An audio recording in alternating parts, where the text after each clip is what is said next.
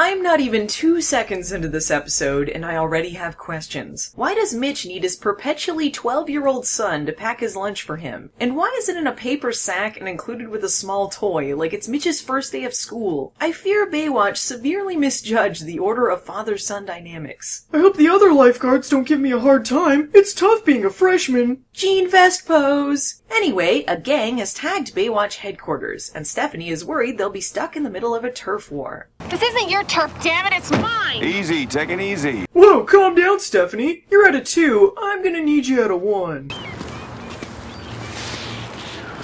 Something tells me those are the ones who should be doing this. That's something being my inner racist! So while Newmie's on vacation, Mitch hired a replacement from out of town who he wants to pair up with Stephanie because he's the old maid police.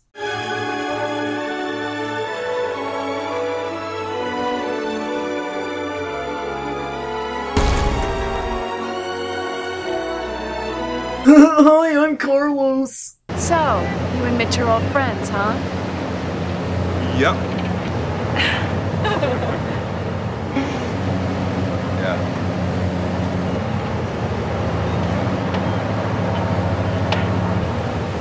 yeah. Yep. Meanwhile, Hobie has become quite the enterprising young man as he exploits his A&W cream soda bodyboard competition prize by selling it off for some quick cash. Alright, step right up, get an ice cold A&W! Little does he know, that makes him a magnet for Latino street gangs. Is that little boy with A&W cream soda? A&W is delicious. Get him! See it, Holmes.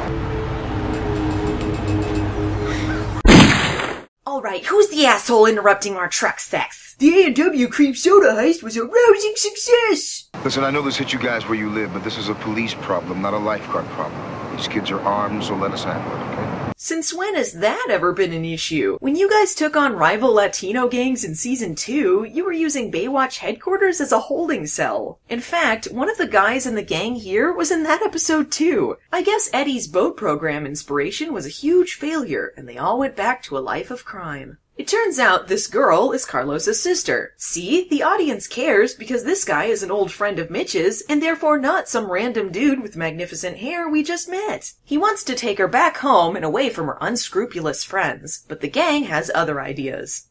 You think I'm afraid of you, huh? Because you're a lifeguard? Ooh, not a lifeguard. The scariest of all professions. I'm not scared of you either. Stay away from her.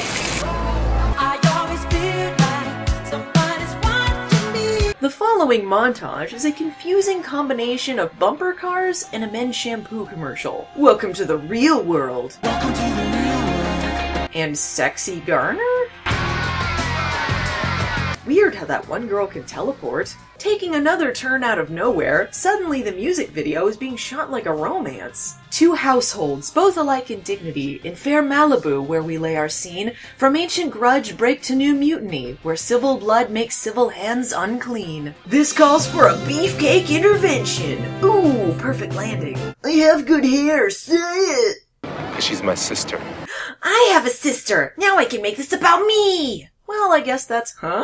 So his sister agreed to go back home off screen then? Oh, that's swell, Baywatch. It's not like you spent half the episode on this non-dilemma. This guy hasn't had a role this good since he was the Dream Prince in Thunder in Paradise.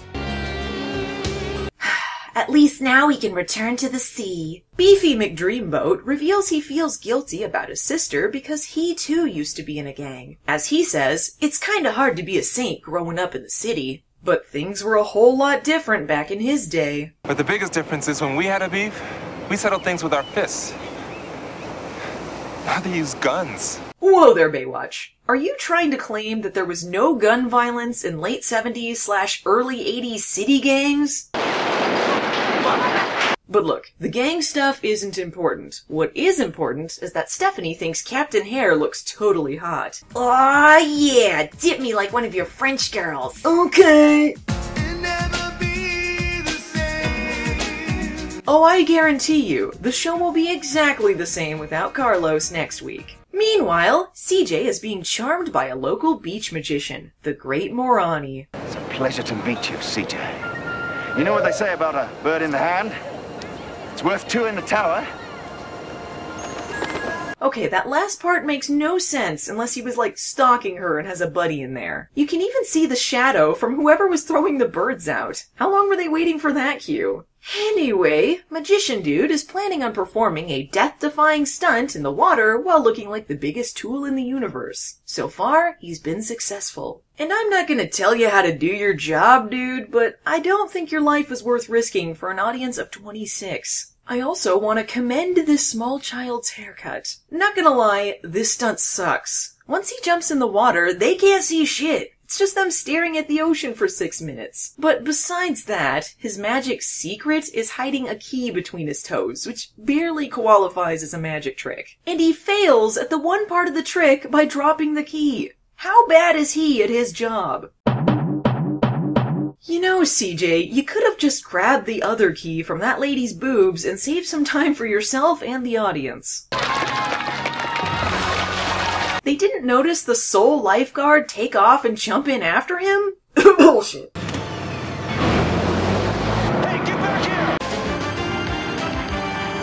Damn it, Chippy, this is why you don't belong on land. Haha, now you'll never be able to get off your tower. Don't!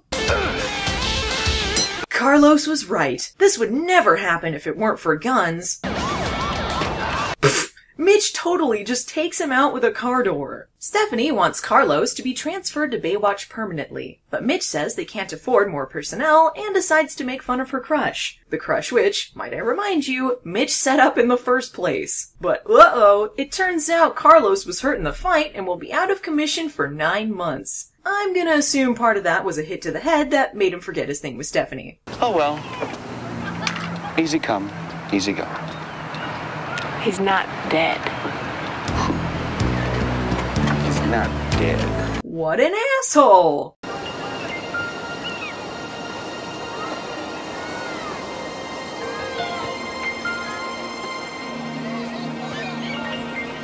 What? Next time on Baywatch, Baywatch hosts the Special Olympics. Don't stop believing.